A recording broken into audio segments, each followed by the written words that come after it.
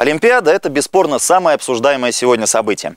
Но не преувеличу, если скажу, у нас в стране есть не менее волнующий россиян вопрос, чем Олимпиада в Сочи. Это вопрос о вводе социальных норм потребления. Власти областей, краев и республик страны должны установить их до 1 июля 2016 года. Об этом говорится в опубликованном недавно решении правительства России. Орловский и еще ряд регионов уже в списке лидеров, причем в списке особом. Сегодня поговорим об этом. В эфире «Первое правительство». Я Олег Рудаков. Здравствуйте.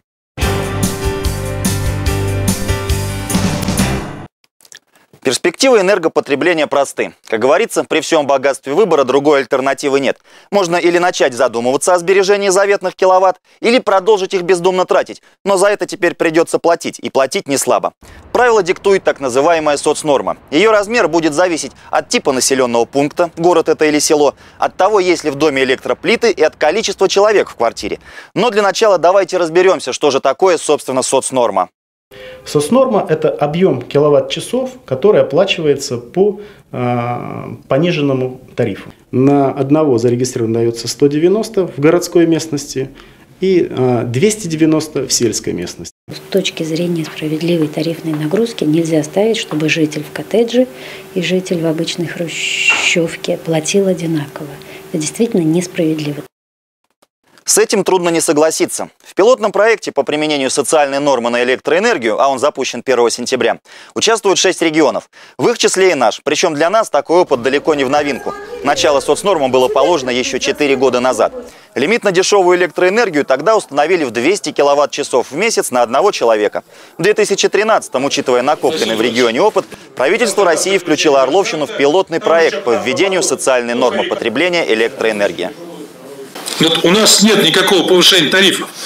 Если мы на хозяйство из четырех человек установили, установили норму, у нас получается там 280. Значит, это примерно э, на 4-5 человек в среднем э, 65 там, э, или 70 киловатт. Значит, и человек, который спокойно в эту норму укладывается, он платит по льготному тарифу. В Орловской области немножко лучше вот эта ситуация по сравнению с другими пилотными областями, потому что у нас э, самый высокий норматив вот, э, начинается от 190 киловатт-час на человека. Вот, например, в Новгородской области это 50 киловатт, и тут как бы приходится экономить, видимо, уже совсем в другом режиме. У нас один из самых низких тарифов. То есть если мы даже говорим о том, что у нас 3,68 это сверх соцнормы, в той же Тульской области платят 3,50 без всякой социальной нормы весь объем. Угу. Тула и Орел рядом. То есть у нас среди Центрального федерального округа один из самых низких тарифов. В какой-то мере это можно назвать победой Орловской региональной власти. Впрочем, я не ставлю перед собой цели переубеждать тех, кто в отношении проекта настроен скептически. Я просто предлагаю трезво оценить факты. Тем более, что достаточность показателей социальной нормы для привычного пользования электроэнергией можно наглядно продемонстрировать путем несложных расчетов. Смотрите. Среднем за месяц холодильник потребляет около 50-60 киловатт-часов электроэнергии, стиральная машина 20-30 киловатт-часов, компьютер от 20 до 60 в зависимости от интенсивности использования, чайник 10-20 киловатт-часов, утюг 10-30 киловатт-часов, столько же телевизор, микроволновая печь 5-10 киловатт-часов, так же, как и зарядное устройство. Если сложить минимальные ежемесячные показатели энергопотребления этой необходимой в быту техники, получим около 140 киловатт-час. При этом никакой жесткой экономии. Власти говорят, решение по введению соцнорм было оправданным и экономически целесообразным как для потребителей, так и для поставщиков услуг. В целом, по в среднем все 90%, как мы и планировали, домохозяйств вложились в социальную норму. Задача первичная ставилась такая, что жители должны меньше платить, э, остальные потребители, которые потребляют больше, соответственно, по коммерческим ценам, по рыночным ценам. И это теоретически даст возможность э, тарифы на электроэнергию, в том числе для населения, сдерживать. С 2014 года все остальные регионы последуют нашему примеру. Стоит отметить, что опыт реализации пилотного проекта в Орловской области уже признан успешным. Страсти и черные прогнозы, кипевшие в оппозиционных СМИ до сентябрьского принятия соцнорм, оказались, как это часто бывает, банальными страшилками. Более того, проект получил положительную оценку федерального руководства. В проекте постановления правительства Российской Федерации о социальной норме учтены предложения Орловской области о введении регионального коэффициента, применении повышающего коэффициента для многодетных семей. Кроме того, поддержано предложение увеличить на 60 киловатт-часов социальную норму на второго гражданина, зарегистрированного в квартире вместо 50 киловатт-часов, на третьего, четвертого и пятого по 40 киловатт-часов на каждого вместо 20 киловатт-часов.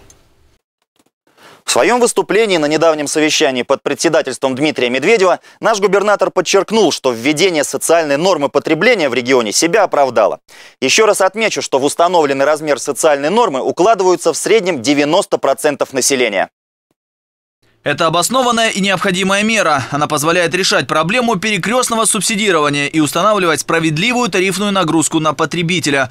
Кроме того, население учится рассчитывать свое энергопотребление и экономить. Александр Козлов поручил управлению по тарифам в постоянном режиме продолжать контроль за применением тарифов на коммунальные услуги в 2014 году. К этой теме мы еще вернемся, а пока в разговоре о тарифах предлагаю поставить точку.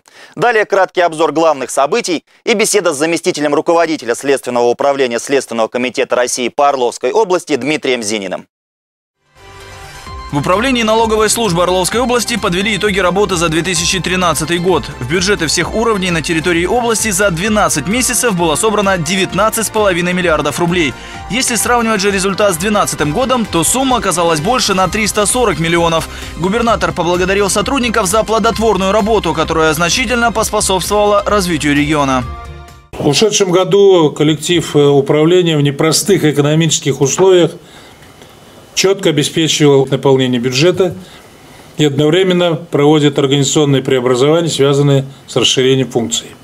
Правительство региона подвело итоги реализации приоритетных направлений деятельности органов государственной исполнительной власти в 2013 году.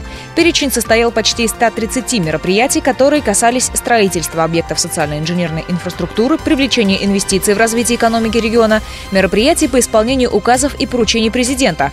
Круг задач на 2014 включает аналогичные направления, сказал Александр Козлов. Основными задачами все-таки перед нами остаются прежде всего инновационное развитие реального сектора экономики, потому что от него все зависит. Это абсолютно точно. Это поддержка малого и среднего предпринимательства и бизнеса. Проект реконструкции театра «Свободное пространство» представили общественности. Несколько месяцев над ним трудились архитекторы «Орел» госзаказчика. В представленном в итоге варианте решено установить шпиль, изменить материал кровли, заменить всю техническую начинку, поработав над звуком и освещением сцены. Эта реконструкция продлится в течение нескольких лет, и к юбилею города Орла мы планируем открыть двери обновленного, модернизированного театра «Свободное пространство». Работа Следственного управления Следственного комитета России по Орловской области неоднократно удостаивалась высоких оценок от руководства Следственного комитета. Исключением не стал и 2013 год. Работа Орловского управления признана одной из лучших в стране. Это при том, что нагрузка на одного следователя в 2013 году также была одной из самых высоких в Российской Федерации – почти 5 дел в месяц. Как при таком количестве удается сохранить качество и, самое главное, все выполнять в срок, об этом нам рассказал заместитель руководителя Следственного управления Следственного комитета России по Орловской области Дмитрий Зинин.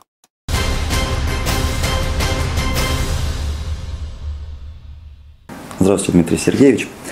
Здравствуйте. А, в начале года силовые ведомства подводят итоги своей работы за прошедший год. Сделано это было и в вашем ведомстве. Ваша оценка положения дел на фронте борьбы с преступностью, назовем это так. Если брать состояние борьбы с преступностью в регионе в целом, то в прошлом году количество зарегистрированных преступлений уменьшилось почти на 8%. А если в контексте общей борьбы с преступностью взять работу нашего управления, то по ряду направлений деятельности нам удалось добиться определенных успехов, прежде всего связанных с увеличением количества оконченных уголовных дел угу. и прежде всего уголовных дел, которые направлены в суд. Какие преступления сейчас наиболее актуальны? Или во злобу дня, скажем так? Были и продолжают быть наиболее актуальными. Это коррупционные преступления, экономические преступления, угу. преступления, совершенные как несовершеннолетними, так и в отношении них. Проводится также постоянная работа, направленная на выявление расследования преступлений экстремистской террористической направленности. Наше Орловское управление, ну ваше Орловское управление, а, не раз называлось в числе одних из лучших. И нагрузка на ваше управление, скажем так, не маленькая. И как удается вам? Это вот действительно хороший коллектив или просто люди работают э, по 25 часов в сутки? Прежде всего, коллектив у нас, безусловно, сплоченный. Вот, и большинство наших руководителей – это люди, проработавшие ну, от 10 лет и больше. Состав наших следователей, он очень молодой. В основном это э, парни, девушки в возрасте до 30 лет. Он, период, он, период, да, он периодически меняется, график работы не нормированный, об этом э, ну, то есть кандидат, То есть это действительно не, это, не, это, это как показывают в фильмах? То есть, в принципе, работа съедает основную часть времени, да?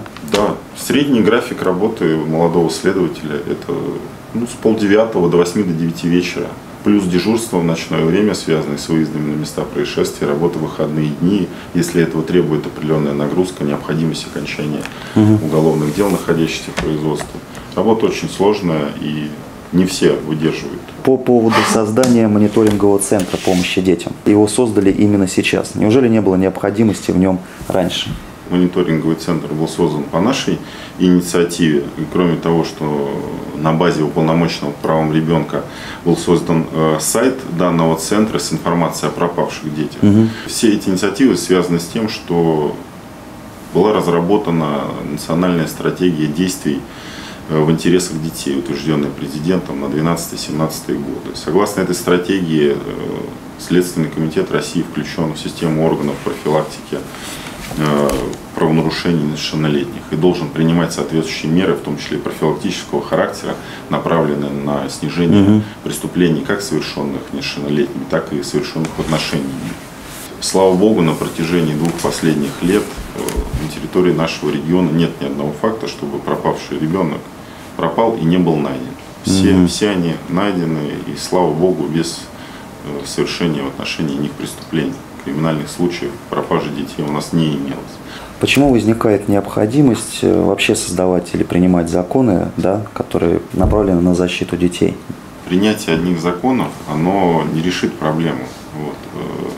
Э, здесь э, снижение количества вот этих вот негативных моментов, прежде всего преступлений, совершенных угу. в отношении детей, зависит прежде всего от взаимосвязанных действий правоохранительной системы, прежде всего, любого региона, в том числе и в Орловской области. Если то есть, э, мы будем комплексно всеми заинтересованными органами принимать системные меры, направленные на повышение безопасности детей во всех сферах их жизнедеятельности, там, в учебе, в активном отдыхе, то количество преступлений и правонарушений в отношении них, безусловно, пойдет на спад. Спасибо, Дмитрий Сергеевич, за интересное интервью. Хотим пожелать вам удачи в вашем нелегком деле. Ну и надеюсь, вы нас еще порадуете своими успехами. Спасибо, мы всегда открыты для общения. До свидания.